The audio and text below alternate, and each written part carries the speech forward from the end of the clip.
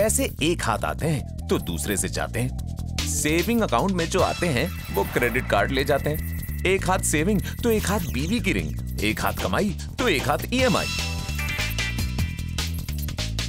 और बचा कुचा नींबू निचोड़ देती है महँगाई। दूध वाला, पेपर वाला, पेट्रोल, इलेक्ट्रिसिटी, मोबाइल, राशन और स्कूल फ़ीस। इनकम लिमिटेड, खर्चे अनलिमिटेड। पर अब पैसे एक हाथ से आएँगे और दूसरे से बढ़ेंगे, जब आप हमारे साथ इन्हें सही जगह इन्वेस्ट करेंगे।